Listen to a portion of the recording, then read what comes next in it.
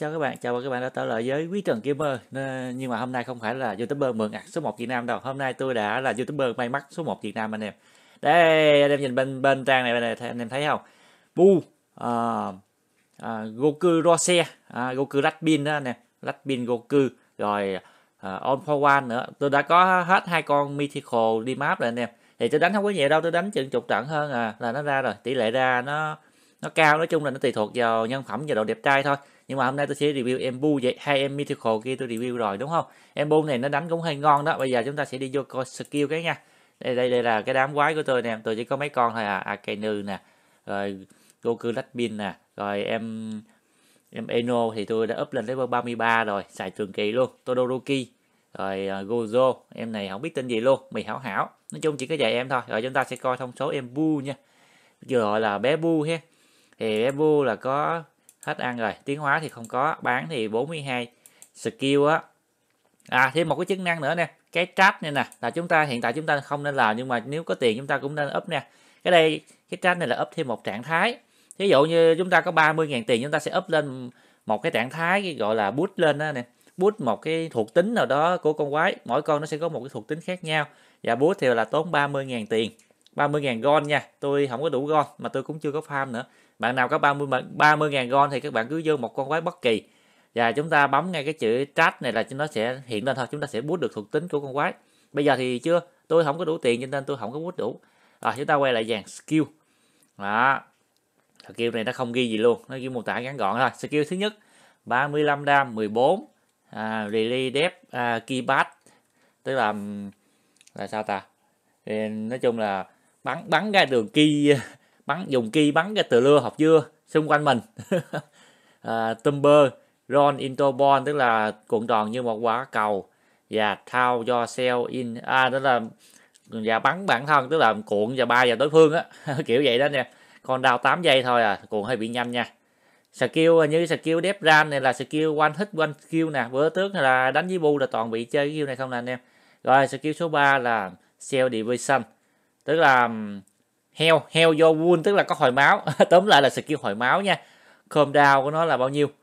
What? Calm down là không giây không giây chả khác nào hồi máu liên tục. Calm down là hồi máu nhanh lắm nè chúng ta cứ hồi máu hồi máu hồi máu thôi. Rồi skill số 4 là thường là skill mạnh nhất nha. Lan lan như này là hành tinh đúng không? Nói chung là một cái chiêu đánh vào một quả cầu.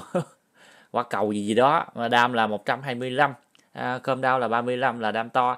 Vậy quả cầu này giống như Eno quá. Eno cũng sử dụng quả cầu đó. Cái này chắc là quả cầu của Mabu thôi. Rồi giờ chúng ta sẽ đi vô ờ, kiếm cái map nào để chúng ta đập nha.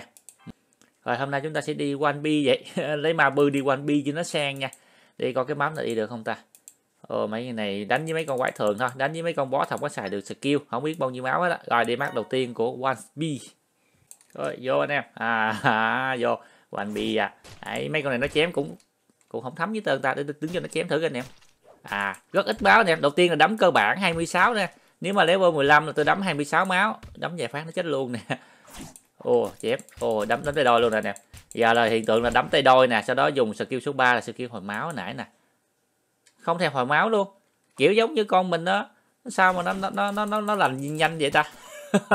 Để tôi coi lại nè. Cầu giờ lại nha rồi, thôi, chúng ta vô skill nha. Skill số 1 skill số 1 là đẹp ram à, im im âm đó tức là không bị đánh anh nè miễn nhiễm.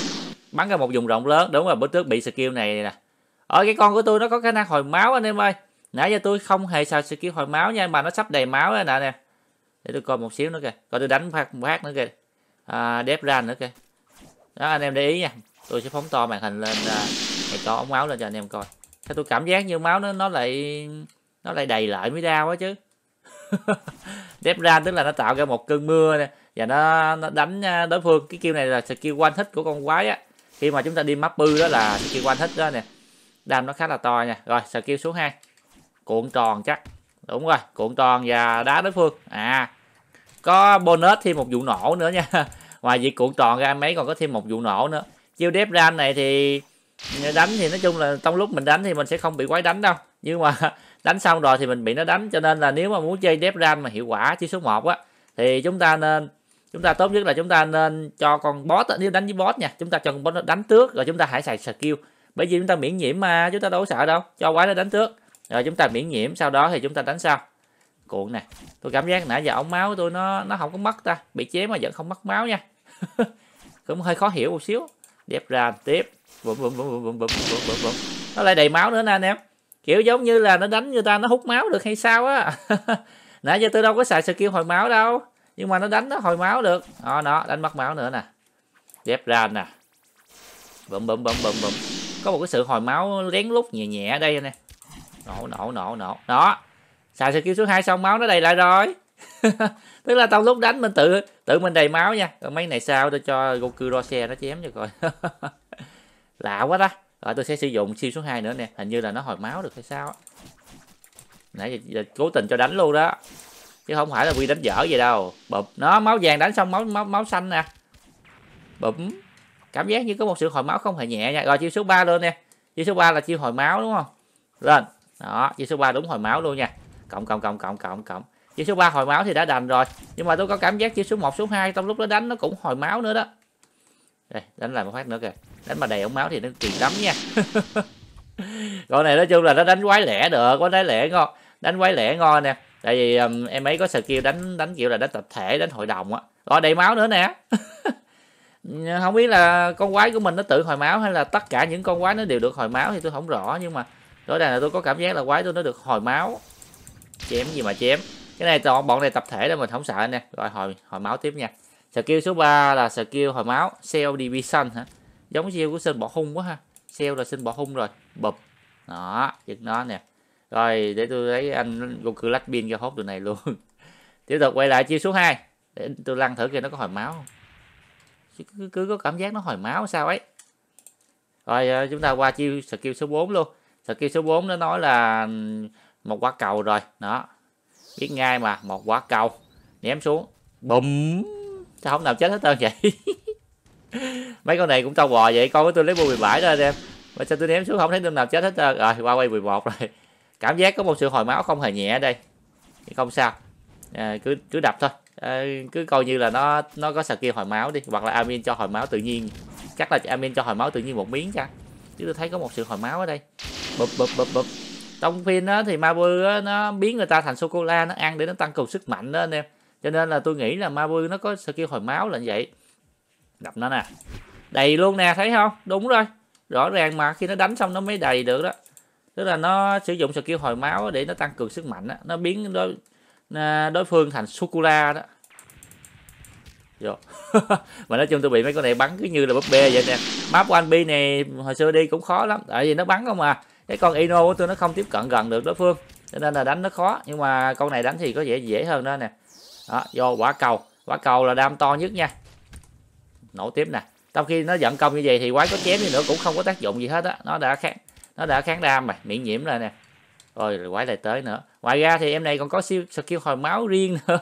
Nó chỉ hồi được bản thân nó thôi nha nó không hồi được cho đồng đội đâu. Không có như phượng hoàng macro là có thể hồi cho tất cả. Skill em chỉ hồi cho bản thân thôi. Đó khi dùng skill vậy thì bắn đầy bác cà nông gì cũng không thấm hết nha.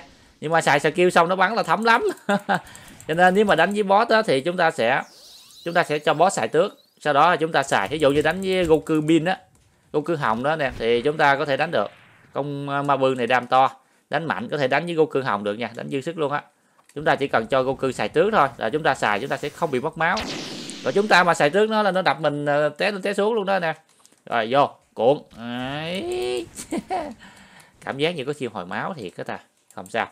Mình sẽ nghiên cứu cái combo nào đó mình hồi máu xong mình sẽ xài skill số 4 này nọ thì nó cũng được nha. Vô nổ bùm bùm bùm bùm bùm. Bây giờ tôi sẽ bắt đầu nghiên cứu rồi có cái combo canh bo nào không. Tôi cũng không không hay ba cái combo lắm đâu. Để tôi quét cái con này cái kìa rồi, qua quay 15 để đánh boss. Quay 15 để đánh boss, đúng không? Để tôi thử combo nha anh em. Combo đầu tiên là lăn qua đây nè. Nổ lên nè rồi khi nó đánh lên thì mình bay lên, mình trưởng sau đó mình chơi số 4 rồi mình chơi số 1 luôn. Không được. Tôi cũng không biết cái combo con này ra sao đó nên tôi đánh lung tung be hết à. Có có nhiều con combo hay lắm, thí dụ như là katakuri chẳng hạn. Katakuri combo là hết sảy luôn nha. Combo ngon lắm anh em còn con này thì tôi cũng chưa biết combo nữa, tôi cứ rình rình và đánh thôi. Nè, nó chờ nó đánh thì mình cứ bụp thôi. Không sao hết. Quái bài. Con này thì nó yếu rồi. Bốn ghi này thì nó cũng không mạnh. Map này thì có mấy thằng nó bắn đại bác là nó đáng sợ thôi nè. Chứ còn lại thì mấy con này cũng chả gì đáng sợ hết bập, bập, bập, đánh tay đôi đó luôn cũng thắng nữa nè. Vô vô vô.